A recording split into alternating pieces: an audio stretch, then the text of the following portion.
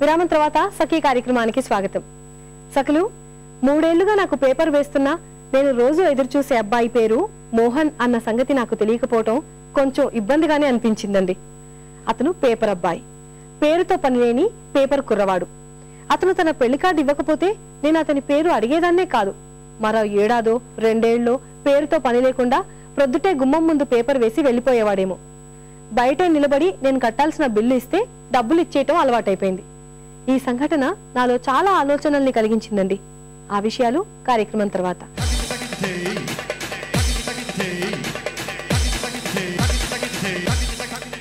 నమస్కారం. వంటల సందడి కార్యక్రమానికి స్వాగతం. తకులు ఎప్పుడు డిఫరెంట్ రుచులను పరిచయం చేస్తున్న వంటల సందడి కార్యక్రమం ఈ రోజు కూడా సరికొత్త రుచితో మీ ముందుకు వచ్చేసిందండి. ఆ రుచి ఏంటా అనుకుంటున్నారా? గోంగూర గింజల కర్రీ. మరి ఈ రుచిని మనకు పరిచయం చేయబోతున్నారు నీరజ గారు. నీరజ గారిని పరిచయం చేసుకుందామా? నమస్కారం నీరజ గారు. నమస్కారం అండి. సో మరి ఈ రోజు గోంగూర గింజల కర్రీ. అంటే ఇది గోంగూర గింజలు అంటే. సపరేట్గా ఉంటాయా? ఏ గింజలని కాదు గోంగూరతో చేసింది. కానీ దాంట్లో ఎక్కువ గింజలు ఉపయోగిస్తాం కాబట్టి గింజలు నట్స్. నట్స్. ఇది సాంప్రదాయకమైన వంటకం పాత వంటకం. ఇప్పుడు కొత్త వంటకం కాదు. దీనికి కావాల్సిన పదార్థాలు చెప్తారా? ఓకే తప్పకుండా. గోంగూర పల్లీలు శనగలు శనగపప్పు కొంచెం బియ్యం పచ్చిమిర్చి పేస్ట్ మెంతులు. జీలకర్ర తాలింపు గింజలు పసుపు ఉప్పు వెల్లుల్లి రెబ్బలు నూనె. సో మరి కావాల్సిన పదార్థాలు చూసాం కదండి దీన్ని ఎలా తయారు చేయాలి? ఫస్ట్ గింజ.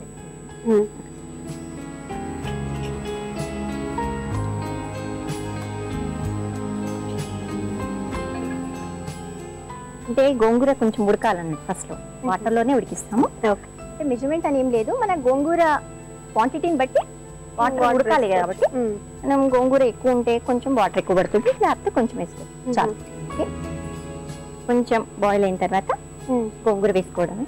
అంటే వాటర్ కొంచెం వేడి రావాలి. కొంచెం ఓకే. ఇప్పుడే కదా స్టార్ట్ చేసింది? So water heat water heat అయింది కదండి? ఇప్పుడు మనం ఫస్ట్ గోంగూర వేసుకోవడమే. కడిగి ఉంచుకున్న గోంగూర. మనం వాటర్లో వేస్తుంటేనే అది దగ్గరికి అయిపోతుంటుంది. ఆకుకూర కదా?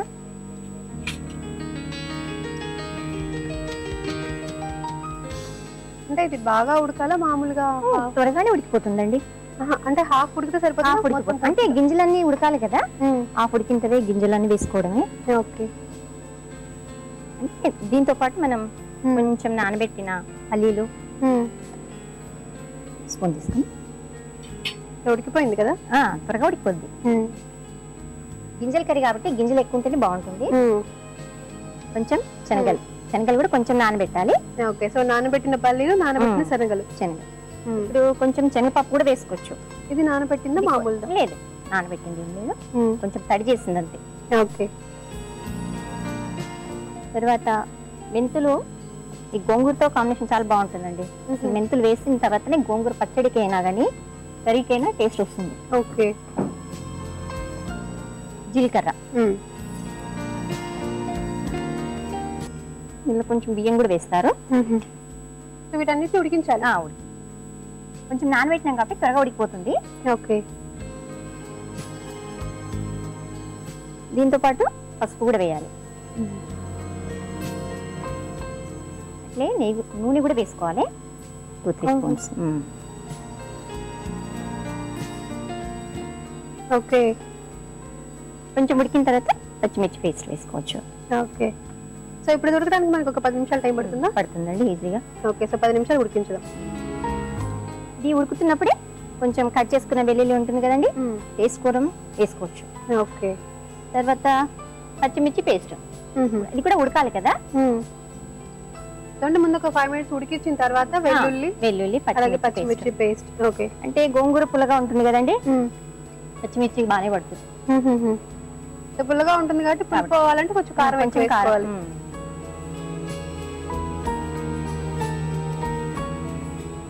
ఓకే సో ఇది మొత్తం మళ్ళీ ఒక ఫైవ్ మినిట్స్ ఉడికించుకోవాలి.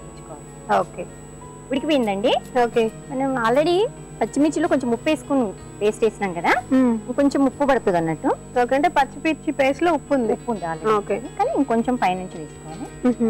సో మొత్తం ఉడికిన తర్వాత మ్మ్. గోంగూర కన్నా ఎక్కువ ఈ గింజలు కనిపిస్తుంది అందుకే చెప్పాను కదండి గింజల కర్రీ అని. గోంగూర కర్రీ ఏం చెప్పలే. ఇది ఉడికిపోయిందండి. ఓకే దించి కాస్త తాలింపు పెట్టేసుకుంటే అయిపోయింది. అంటే లాస్ట్లో పప్పు ఎలా అయితే ఉడికిస్తాము ఉడికించిన తర్వాత తాలింపు వేస్తాం కదా అలా తాలింపు తాలింపు. వేయలే కాబట్టి మ్, ఆయిల్లో తాలింపు ఓకే తీసేయండి. ఇది తీసి పక్క పెట్టుకోవచ్చు. ఓకే. ఓకేనా.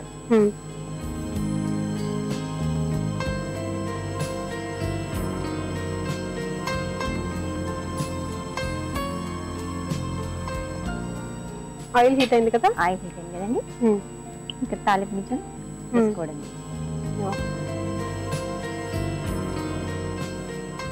కొంచెం చిప్పట్లాడుతూ ఉంటుంది. మ్.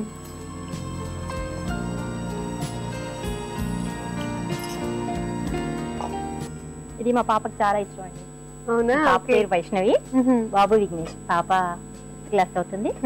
బాబు ఏమో సెకండ్ క్లాస్ అవుతున్నాడు సో ఎక్కువగా పల్లీలు ఉన్నాయి కాబట్టి కర్రీ లాగా కాకుండా. కూడా మామూలుగా స్నాక్ ఐటమ్ లాగా కూడా తినొచ్చు అంటే. చపాతీస్లోకి చపాతీస్లోకి చాలా బాగుంటుంది. కొందరు ట్రెడిషనల్ వంటకం జొన్న రొట్టె అంటారు కదండి? ఆఫ్ చేయండి. ఓకే. దానిలోకి ఎక్కువగా తింటారు అన్నట్టు తిరగపెట్టాను కంప్లీట్ అయినట్లేనా? కంప్లీట్ అయిందండి. ఓకే. ఒక బౌల్లో తీసుకోవడమే.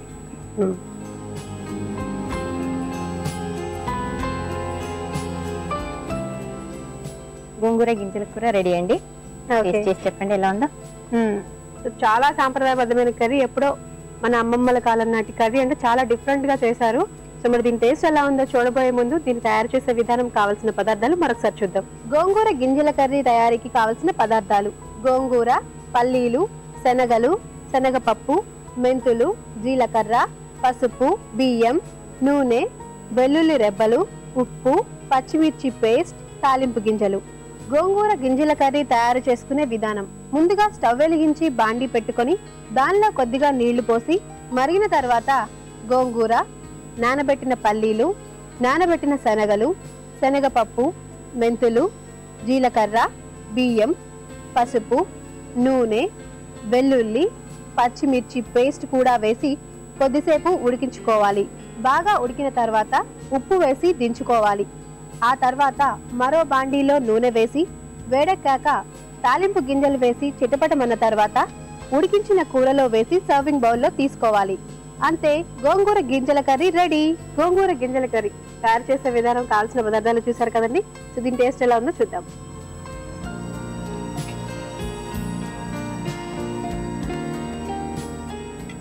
నీరజ గారు చాలా బాగుందండి.